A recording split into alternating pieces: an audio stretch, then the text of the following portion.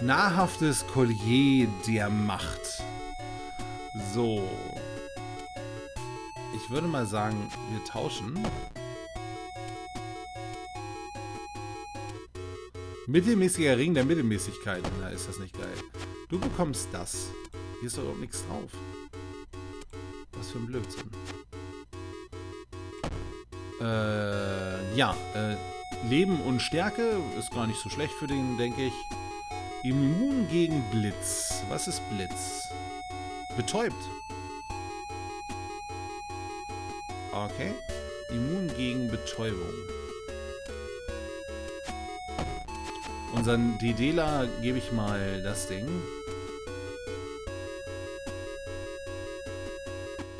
Okay, Nahkampfschaden. Mittelmäßiger Speer der Mittelmäßigkeit.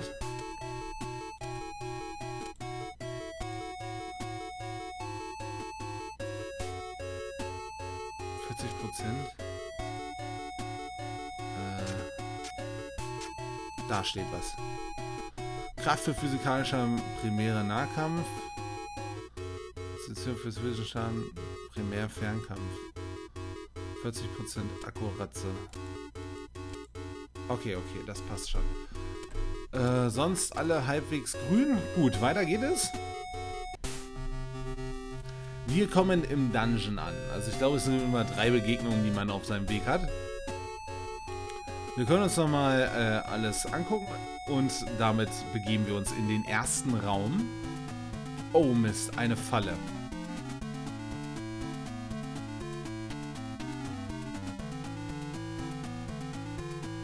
Eine Schatztruhe, sie ist von scharfen Metallklingen umgeben. Vielleicht kann jemand hindurchgreifen. Scheinbar verlangt dies nach ausreichend Geschick. Wagt ihr den Versuch? 65% Chance. Er hat es geschafft. Sehr schön. Dadurch haben wir den ersten Raum geschafft. Es gibt halt auch so Schatzsachen. Hier ein Speer. Verfluchter Leder des Windes. Zerknitterter Band der Gnade. Zerbrochene Wams der, äh, des Greifen. Gesplitterte Mütze des Schwachsinns. Band der Eiszapfen. Langweilige Magie der Zombie-Besessenen. Hübsche Kappe der äh, Erdung. Jetzt habe ich's. Wir können die Kampfposition wechseln. 33, 39. Das ist halt ein Elementar. Da ist Feuerschaden drauf für mich. Kann im Nahkampf und im Fernkampf benutzt werden. Also könnte ich hintere Reihe jemanden angreifen und es müsste Elementarfeuer sein. Sehr gut. Was haben wir denn hier? Verursacht das da gesegnet. Teilt mehr Schaden und Heilung aus. Sieben Heilung. Also in diesem Falle wären es 13 Heilung. Das kriegt er hier. Damit kann er jetzt Leute heilen.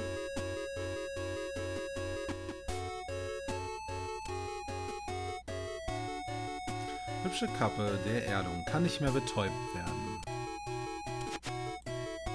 Achso, da rein.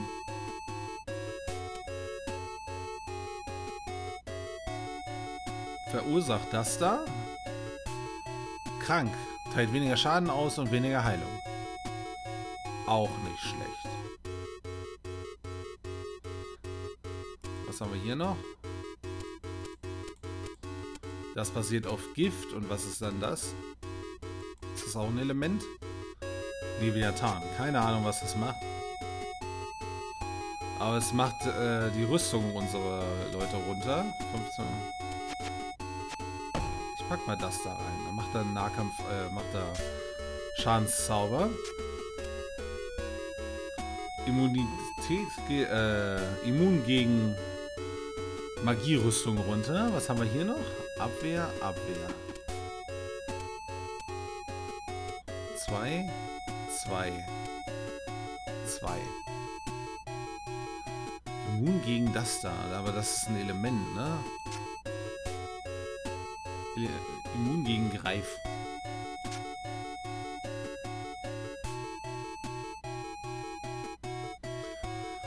Schadensberechnung. Ah ja. Äh, Phoenix 42 physisch gibt den Schadenswert an.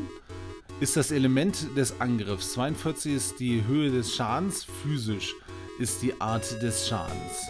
Die physische oder magische Verteidigung des Ziels wird von Schadenswert abgezogen. Das Element des Angriffs wird mit dem Element des Ziels verglichen. Elementare Angriffe können effektive, ineffektive oder absorbiert werden. Die Schadenswerte wird der grauen Formel berechnet, beispielsweise plus x Prozent der Heldenwerte. Okay. Alles klar. Aber ich ja, alles klar.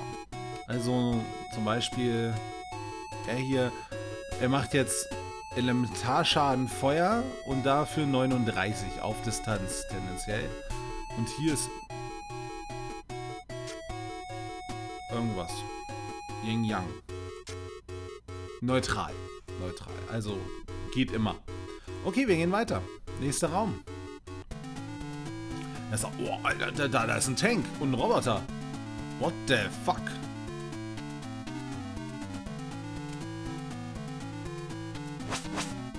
Nimm das. Erstmal verstimmeln geht nicht.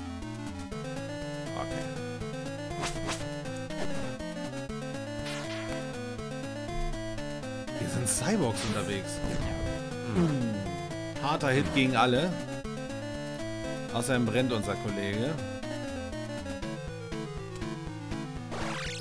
Wir heilen ihn mal, damit er mehr Schaden macht. Säureregen. Oh, wir kriegen gerade gut auf die Fresse.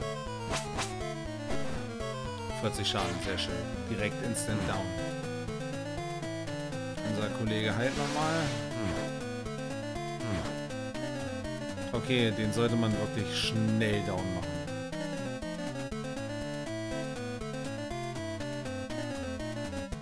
Keine Ahnung, darf er gerade nicht? Er muss sich eine Runde ausruhen.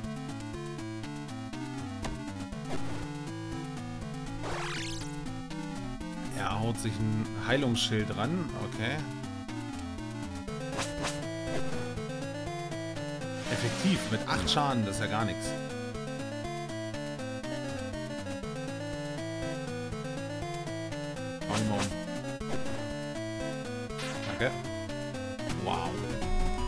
Da hätte man, das muss man natürlich wissen. So, glänzender Wamse der Neugierigen, glaube ich. Leichte kapitale Anpassung, Heiltränke, zwei Stück. Wir müssen uns sowieso erstmal hochheilen. Äh, die Helden sind ein Level aufgestiegen. Ihr könnt nun Punkte auf die Attribute verteilen. Ähm,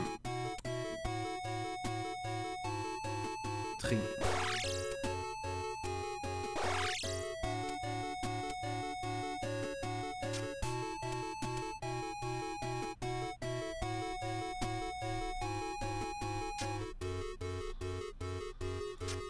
Klein bisschen Heilung besser als nix. Ich dachte, vielleicht könnte er die Skills auch so einsetzen, während wir hier sind.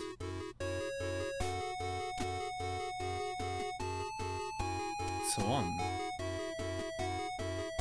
Berserker. 100% Blutung, Schlägerei 48 physisch. Ziel 1 plus 2. Sich selbst und heilen. Okay. 16 Runden Abklingzeit, aber okay. Also, wir können...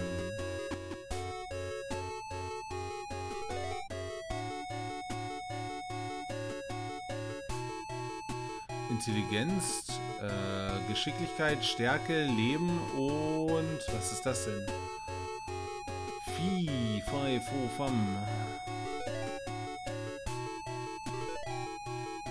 Resistenz? Ich weiß es nicht.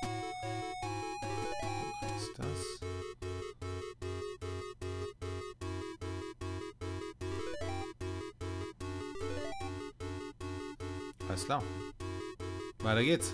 Halt, nein, wir, wir haben noch neue Gegenstände gekriegt. Nix, nix, nix.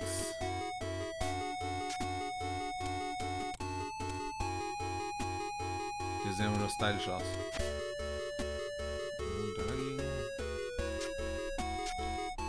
Nee, nichts sonst. Okay, weiter geht's. Nächster Raum.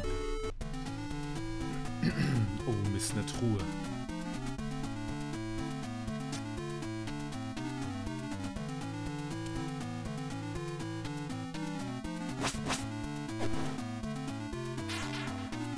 Ein direkt vernichtet, so muss das. Hm. Nahkampfangriff 13 Schaden.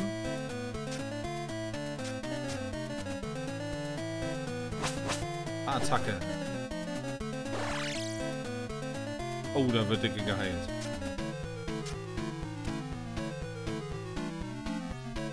Magisch.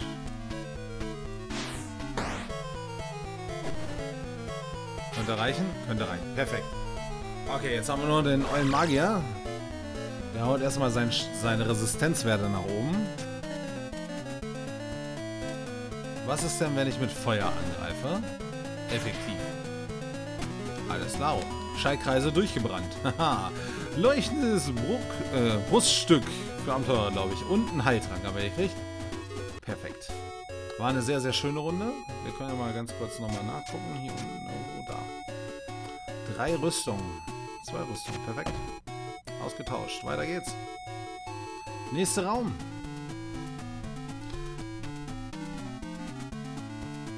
Mm, Skills. Ah ja, okay, das ist also auch übergreifend. Absorbiert. Macht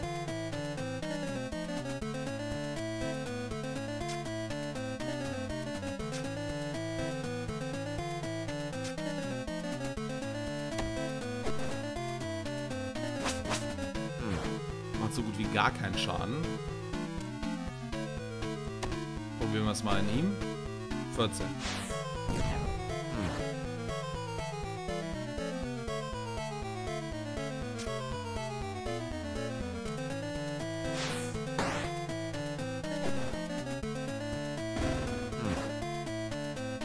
Boah, der hält voll viel aus hier vorne. Gar nicht erwartet. Machen wir es mit normalen Angriffen. Jetzt heilen wir unseren äh, Tank erstmal. Oh, ineffektiv, sehr gut.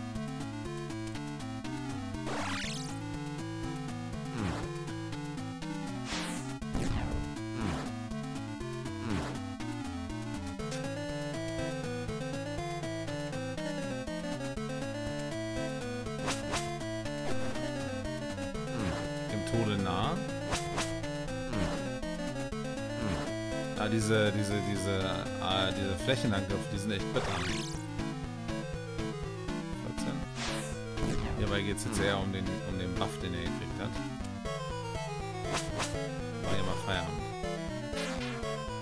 Sehr gut. Der Tank macht dieser AOE-Schaden, ne, der ist echt übel.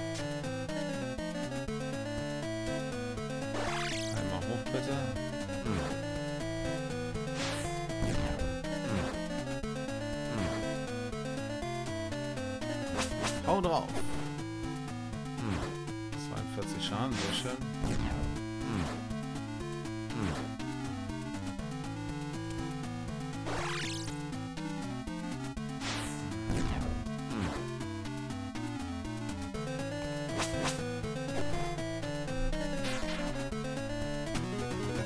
So, was bekommen wir? Beute. Talisman der Rettung.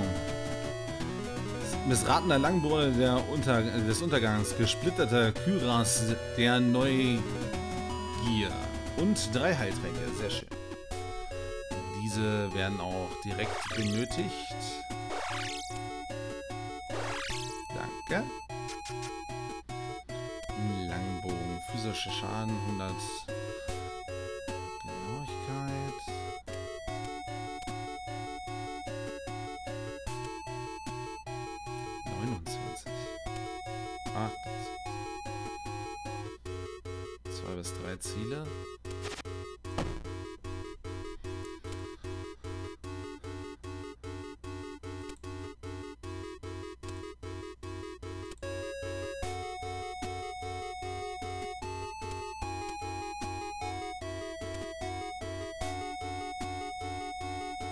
Int und Stärke.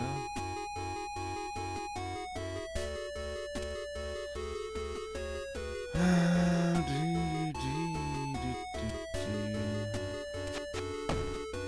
Tauschen wir die kurz aus.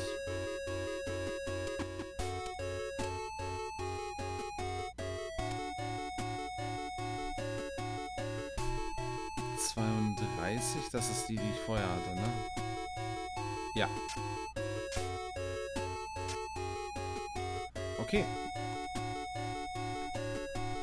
AOE hier wäre halt noch schön, aber haben wir leider nicht.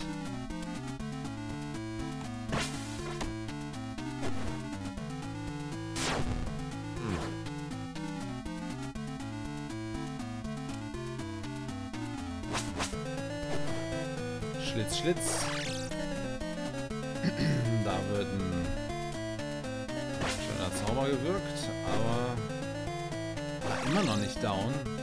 Dem Tode nahe.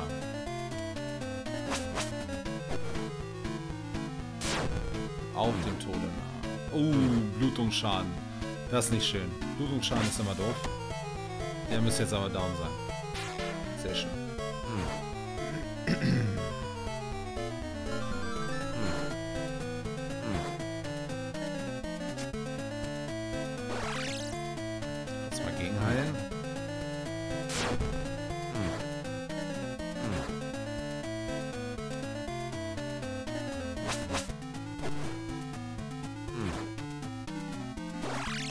Der aushält, ne?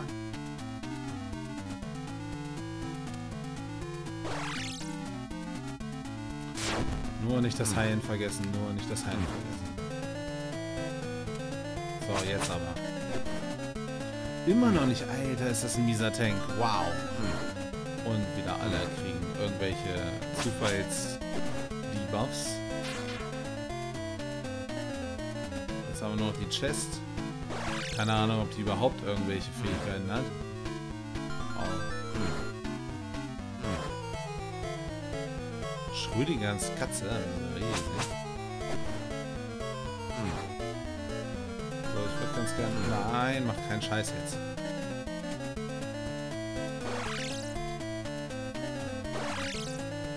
Tatsächlich, Schrödingers Katze kommt da raus.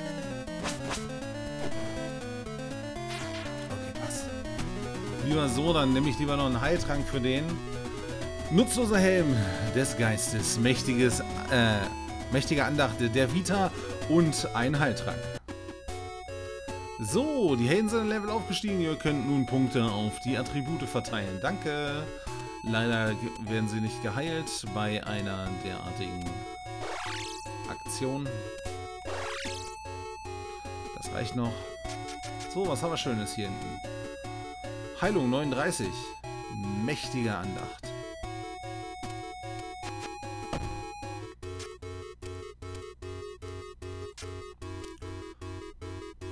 Hat halt keine Abklingzeit, so wie der Zauber. so. Immun gegen Verwirrung. Oder was ist das? Agiert verwirrt in der nächsten. Also ich bleib mal lieber bei der äh, Betäubung. Dass er nicht betäubt werden kann, der Kollege. Der kann auch nicht betäubt werden. Und der ist resistent gegen Brandschaden. Nee, das passt schon. Das lassen wir so. Ah ja, wir können noch äh, stärker werden.